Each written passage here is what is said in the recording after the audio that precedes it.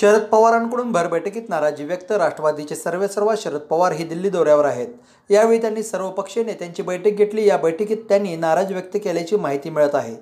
महाराष्ट्राचे राज्यपाल भगतसिंग कोश्यारी यांच्या कामकाजाबद्दल हे नाराज व्यक्त केले असल्याचं सूत्रांनी सांगितलं आहे.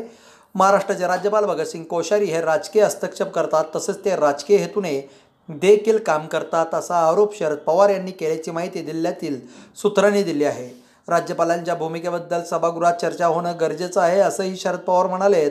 केंद्रीय अर्थसंकल्पाच्या पार्श्वभूमीवर दिल्लीत सर्वपक्षीय बैठक बोलवण्यात आली होती.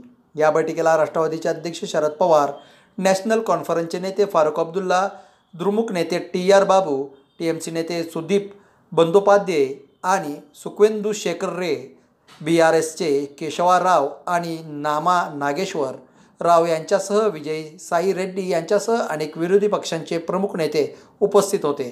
याशिवाय बैठकीला वाय एस आर काँग्रेसचे नेते देखील उपस्थित होते. आम आदमी पक्ष राष्ट्रीय जनता दल आणि शिवसेना उद्धव ठाकरे यांच्या गटातील नेत्यांची सुद्धा उपस्थिती असल्याची माहिती आहे. बैठकीला सदतीस सर्व पक्षीय नेत्यांची उपस्थिती होती. याच बैठकीत शरद पवार यांनी राज्यपाल भगतसिंग कोश्यारी यांच्या कामकाजावरून नाराजी व्यक्त केल्याची माहिती आहे.